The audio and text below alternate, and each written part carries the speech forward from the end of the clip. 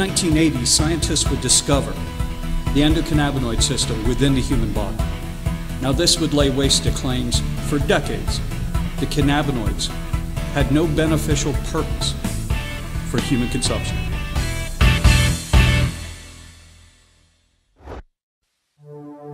Obesity, particularly abdominal obesity and the associated cardiometabolic complications, are critical areas of investigation.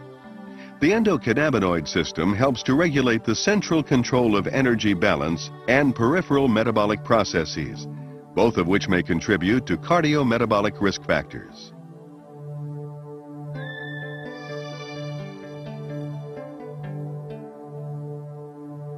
The endocannabinoid system, or ECS, influences multiple physiologic processes. This intricate system modulates energy intake, as well as nutrient transport, metabolism, and storage. The ECS regulates these processes through endogenous ligands, such as anandamide and 2-arachidonyl glycerol, and the CB1 receptor. CB1 receptors are located in the brain, digestive tract, muscle, and adipose tissue. Integration of these central and peripheral ECS components is achieved through neuronal and hormonal signaling.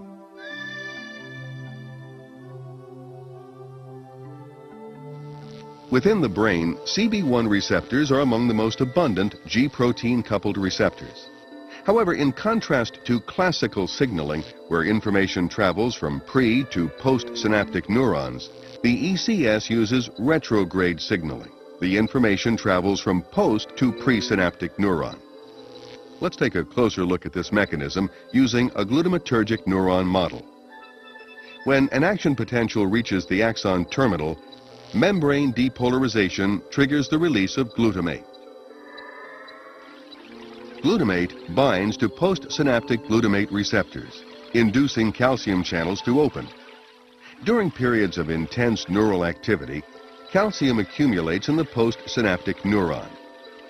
This calcium buildup causes the synthesis and release of endocannabinoids from membrane lipids. Diffusing across the synaptic cleft, the endocannabinoids bind to the CB1 receptor, activating the G proteins. Activation influences ion flow. The result suppression of presynaptic neurotransmitter release. Endocannabinoids are subsequently taken back into the cell and enzymatically degraded. In addition to acting as neural messengers, endocannabinoids mediate paracrine and autocrine signaling in adipocytes, hepatocytes, and other cells.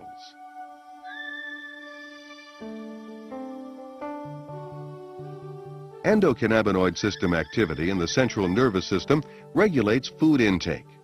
For example, ECS stimulation by hunger and fasting signals stimulates appetite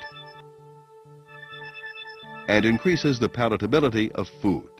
Endocannabinoids slow gastric emptying and GI transit and appear to stimulate secretion of ghrelin, a neuropeptide that increases appetite and food intake.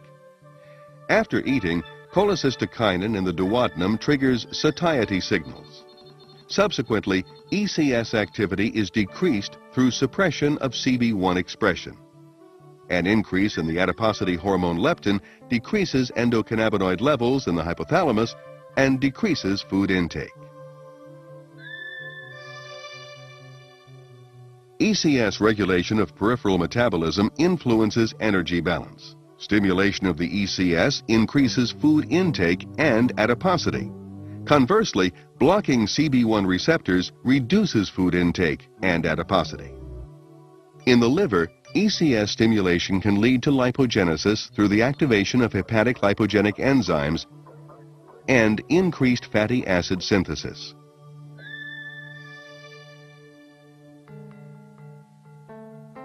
Chronic stimulation of the ECS is associated with dyslipidemia. Activation of CB1 receptors increases expression of SREBP1C, a lipogenic transcription factor, and increases fatty acid synthesis. SREBP1C increases production of lipogenic enzymes, ACC1, and fatty acid synthase. Increased fatty acid synthesis can lead to production of large triglyceride-rich VLDL. Large triglyceride-rich VLDL sets the stage for the atherogenic lipid profile of small, dense LDL, decreased levels of atheroprotective HDL, and overall increases in cholesterol and triglyceride levels. Adiponectin, another hormone secreted by adipocytes, regulates lipid and glucose metabolism. Adiponectin is believed to regulate fatty acid oxidation in muscle and liver, thus improving insulin sensitivity. CB1 receptor stimulation in adipocytes reduces adiponectin, while CB1 blockade increases adiponectin synthesis. Metabolic dysregulation leads to a constellation of symptoms including abdominal obesity, atherogenic dyslipidemia, hypertension, insulin resistance, prothrombotic state, and pro-inflammatory state.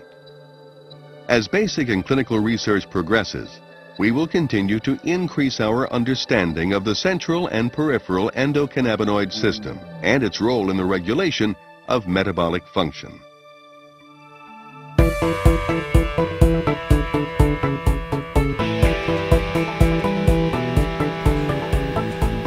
Have it in one plain video.